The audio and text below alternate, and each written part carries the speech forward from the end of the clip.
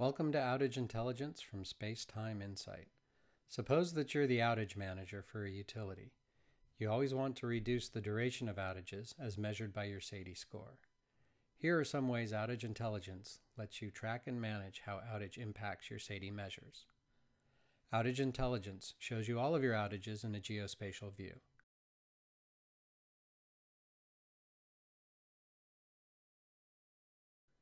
Like many outage managers, you're often juggling multiple events, each at a different stage of resolution.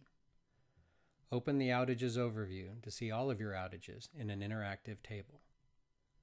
Outage Intelligence tracks each outage through six stages, from detection to closure. To find just your open outages, filter the table using the status column.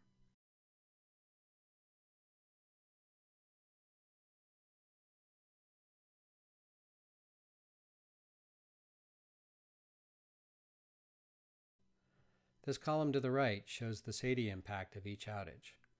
Clicking on the column title sorts the outages by their impact.